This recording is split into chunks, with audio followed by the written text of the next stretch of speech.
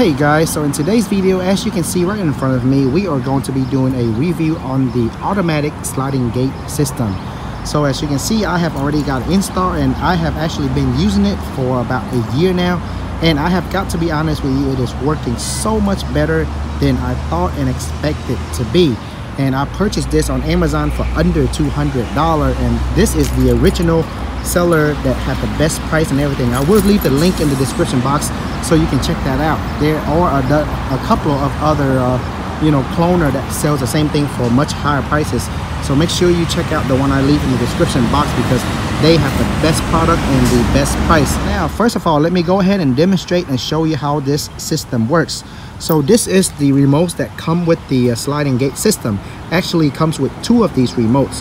To open the gate all you have to do is press this button once. And it will open automatically just like that. And the rate that it moves is about uh, 43 foot per minute. So that's about under a foot per second. So it takes about 10 or 15 seconds to open my gate fully now once the gate opens fully it will automatically stop when it hits the threshold to wherever we want it to stop at. So there as you can see it automatically stops. And it could pull a gate up to 1400 pounds. That's 1400 pounds. And the length of the chain you can have the length up up to 40 foot. So it does come with a uh, 20 foot uh, chain worth already. So it comes in two different pieces. Each chain is 10 foot so it comes with two of those. So you have enough for a 20 foot gate which is uh, how long my gate is. This is the complete 20 foot gate right here. So let me go further and show you how I actually installed everything here. So the hardest part for me honestly was uh, drilling these holes right here. As you can see before you can uh, hammer down these nails here I have to have two holes on this side and another two on this side. Now I never had any experience with drilling holes or anything like that.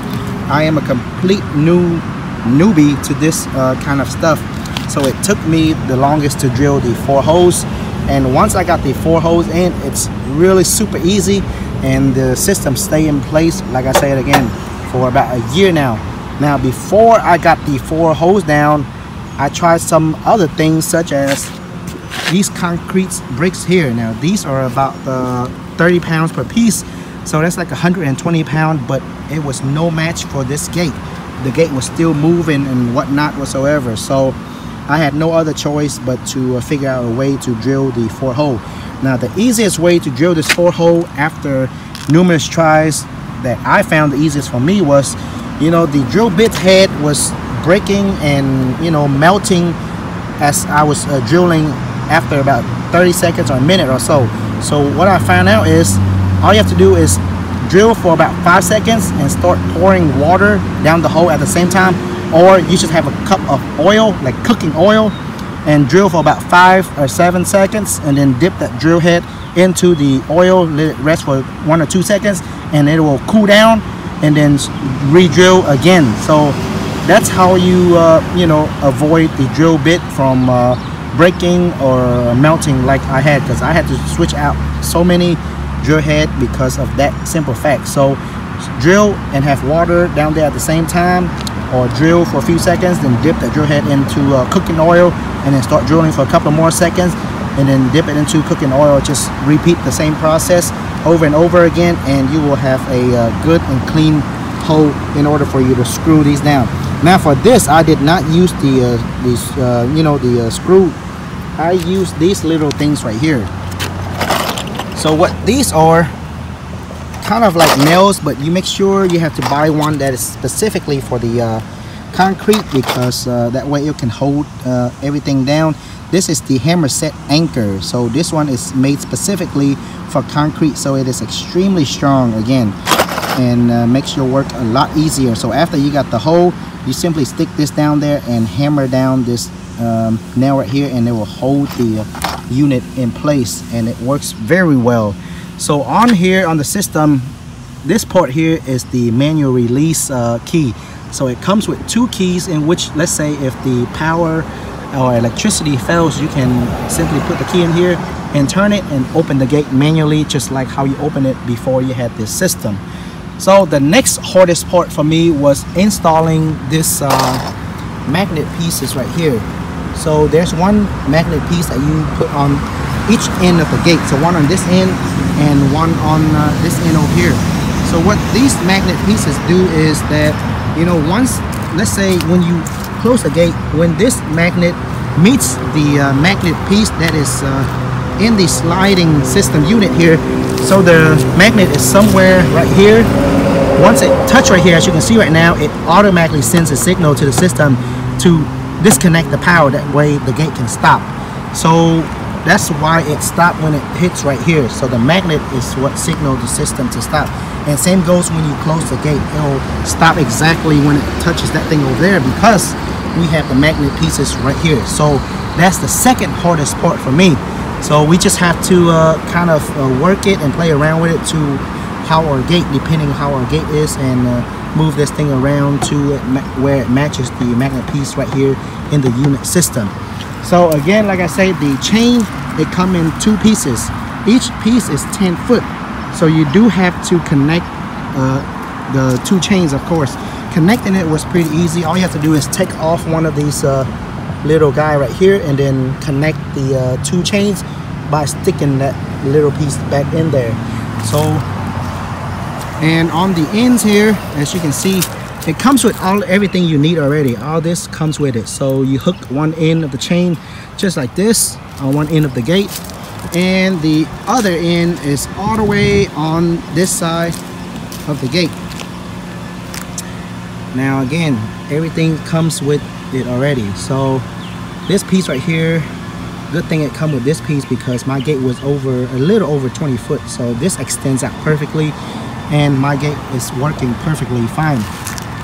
So if you have a gate that don't have a uh, rail like I have here already, I have to put this rail on there myself. The gate works fine without the rail, but with the rail, you know, the gate stay in place very well because with the rail, you have this uh, wheel right here that will hold the gate in place no matter how far it gets away from the uh, system here. So before that, my gate was working fine, but it was kind of moving back and forth a little bit. And when that when that happens what happened is the chain right here kind of touches this metal piece and it kind of mess up this piece. It doesn't really matter. This piece is just a metal piece that hope that covers the chain it's not that important but you know you would want to have this rail on there so once I noticed that this was happening I put the rail on there and it no longer you know further damage it or anything and now it works perfectly fine and now let me go ahead and demonstrate it and close it uh, one more time. Where did I left the remote control? Oh, here it is. Okay, so to close it, you hit the same button one more time and it will close. And look how uh, it automatically closes once this little magnet piece right here matches the magnet pieces on the uh, sliding gate system. It will automatically close.